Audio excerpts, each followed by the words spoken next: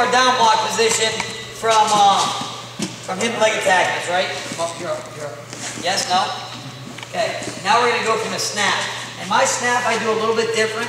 I know a lot of people, they'll snap the head and really work hard, snap that head through. Yes, no? Great, I love it. I love it. You guys snap downs? You guys use snap downs? Yeah. You ever snap somebody into your legs? Yeah.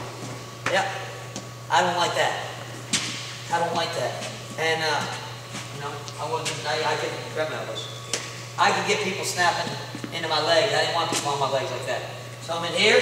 All I'm doing my foot fake. I basically step on his foot and rock in. He's got to move. So it's all in the hook. It's all in the hook. Watch his free hand. I'm in here. I step and I rock my hip. Right here. I have this hand at home to protect my leg. My down block hand is still here.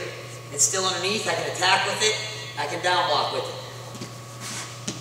I'm in here. I have good head position. I'm just gonna go slow. I step and I step and I rock my hips in. He really thinks I'm coming. And it's heavy. Let me take it back. Then I snap right here. I'd say majority of the time, majority, they're not going to bounce off the mat. But all I need is head and low enough to go underneath my chest. And I can get it. Stay up. Stay up hard. I First try. I know, it's hard. He's got to react.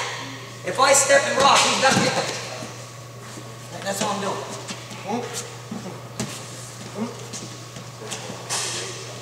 Yeah.